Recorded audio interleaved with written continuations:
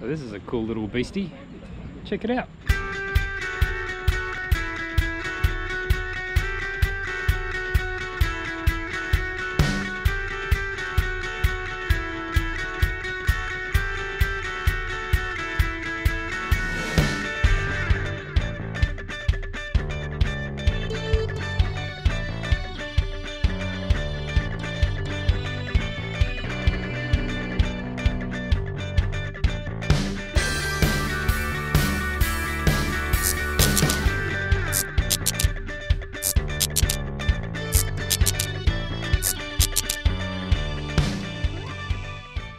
Chris Nash, President of the Australian Electric Vehicle Association, here at the Royal Melbourne Showgrounds with Greg McGarvie, the head of ACE Electric Vehicles. Greg, this is the prototype. What can you tell us about it? I can tell you that it's a brilliant little car. It's 100% uh, composite, and the technology is German technology uh, with a history of goes back 10 years. And um, we're just very fortunate. ACE Group of Australia has a partnership with Germany and with Taiwan. We're very confident about the quality and the ongoing quality of the vehicle as it develops. This particular vehicle, prototype, was built in six days in a Brisbane workshop. Wow. Okay. Yeah, so Very good. The beauty of this vehicle is it's not like your normal auto where need a flash production line. Uh, our goal is with this vehicle to um, export it as a smart pack. Yep. That then goes into uh, basically an air conditioned shed, gets built. We train the people how to do it.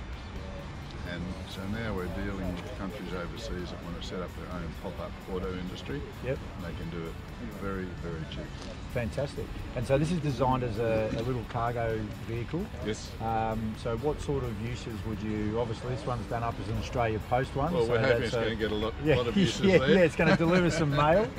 Um, but what, what other sort of uses? All the all the Look, usual. an- any anything you can think of, and probably the Yep. best example is all the rubbish that went on during the election campaign about uh, this would ruin the tradies' weekend. Yeah, yeah, This will yeah. actually make their weekend because it- they can boil their coffee, run Yep. their tools off. so what sort of range would you get out of out of this? This one with its a small battery, Yep. it's got a range of 200k. And 200k, And yep. that's more than enough. Most Yep. people um, with a vehicle probably fill up once or twice a week. Yeah, yeah. Whereas this thing, it fills up overnight, every night. Yep. So you've got a full vehicle next morning and Yep. not hunting for a petrol station to find the best price for fuel.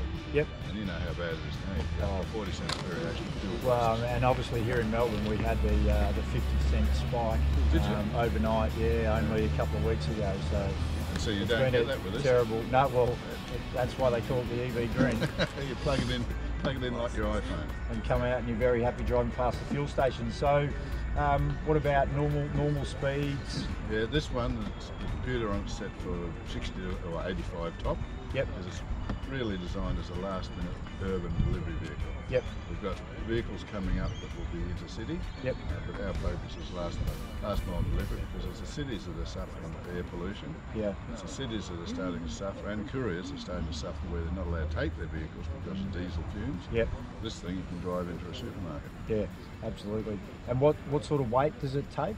It- This one, uh, pretty good. It's 500 kilo. Yep. The vehicle itself only weighs a thousand, so it's a good weight, good weight to uh, Yep. good weight ratio. Yep. Fantastic. Yeah. Yep. To the advantage of this, it's not a vehicle really. It's an iPhone. Yep. It's got a big battery. Yep. So it's really an energy management system. It's a massive iPhone. I can't fit that in my pocket. But, but we're hoping it'll replace the iPhone actually Yeah. because the communication systems that we'll be setting up in it, in our ecosystem, yeah, it'll be a business on wheels. Fantastic. Very good. Well, congratulations, and we're hoping to see this out here um, shortly in full production. Hope so, So, too. with this Australia Post livery, maybe that's a clue of where it's going to be. Hope so. Thanks, Thanks for being part of it. No worries. Cheers. Great job.